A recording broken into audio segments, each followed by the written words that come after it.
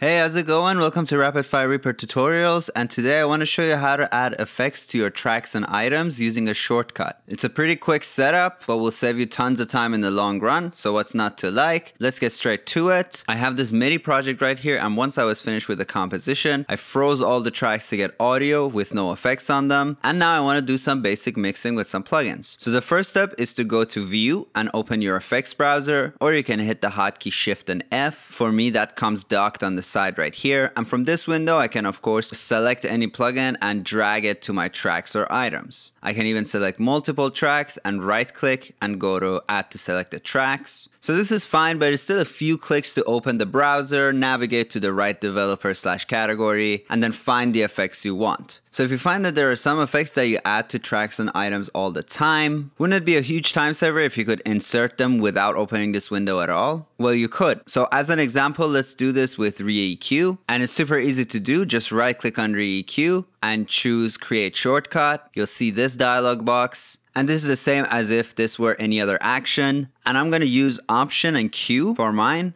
and then hit enter. I'm going to replace my previous go-to by choosing yes. And hopefully it's clear that this works with any native or third-party plugin that is your go-to EQ. So now that we did that, I can choose any track and I can hit the shortcut and ReaEQ is added to it. I can also select multiple tracks and hit the same hotkey. And I can also take one or more items and again, hitting the same hotkey, add ReaEQ to those. So you can then rinse and repeat this process for other common plugins, like maybe let's add ReaComp to option and one. So now with option Q and 1, I can quickly insert an EQ or compressor or both to any item or track without having to have this window open at all. You can also do this with entire effects chains if you wish. So from the left column, I'm going to choose effects chains and here are all my effects chains. So for example, I got this effects chain right here that makes stuff sound kind of dreamy. And if I want a hotkey set to this, it's the same procedure. Right click, create shortcut. So for your go-to plugins and effects chains, this is definitely the quickest way to insert them. But then there are maybe like a lower tier of plugins that you use only maybe semi-often, and it wouldn't be very ergonomic to set shortcuts to these. So another thing we can do is to create actions from these, but instead of setting a hotkey, we can just add those actions to our toolbars or right-click menus. So for example, something like ReaLimit or ReaDelay, I personally don't use often enough to warrant making a shortcut for it, but I can still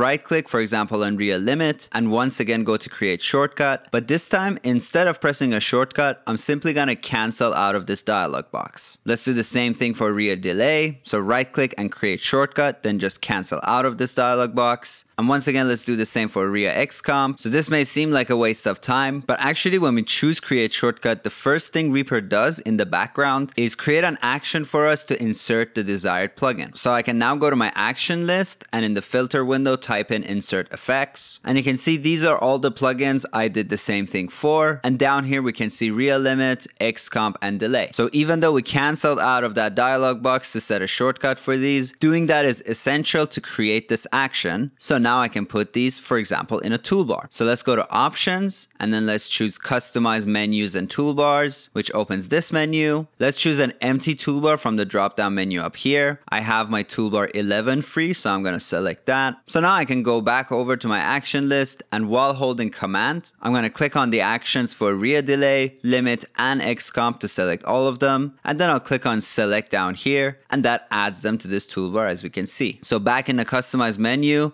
I can right click on them to rename them by choosing text icon. So let's do that for all three. When you rename them, you can also select double width if the text is too long for a square icon. So it'll look like this and you can see the whole word. I can hit save and now if I right click on any toolbar, I can choose open toolbar, select toolbar 11 and open it. So I can for example choose this bus here now and quickly add ReaLimit or I can choose my percussion bus and add Xcomp to it. You can set a hotkey to open the toolbar or as I do, you can use contextual toolbars and check the video above to see how I do that. Of course, you can also add icons to these to make them look nicer. So I can right click on any of these down here to open the icons we have, and I can add a picture icon for them just to make them pretty. And in fact, I've already done this for some of my go-to plugins in another toolbar. So let me show you how that looks. I can pull it up by hitting my contextual toolbar hotkey. So this toolbar, I set up the same way that I just showed you, but I also went and made some icons for them. So again, I can select one or a few tracks and then just click on one of these icons and that'll insert the corresponding plugin here. So I'm just showing you this kind of to tease the next episode where I will show you how to create your own toolbar icons. So consider yourself teased with this toolbar and I wanted to just get the setup out of the way so that in the next episode we can just work on creating some cool looking icons. But for now, that's going to be it for today. Thanks for watching. If you like the work I do, you can now become a member of this channel. Thanks to all our current members and see you this Friday with an exclusive video. You can also support the channel with one-time donations through buymeacoffee.com. The link to that will be in the description as well. Thanks to Jan H and Michelle B for your donations. I really appreciate it. Also, someone paid $100 for my last album without leaving a name. Just in case you're one of my viewers, thank you so, so much. You're a real, real MVP. I, I was left speechless when I saw it. Take care of yourselves, everyone, and I'll see you real soon. Bye.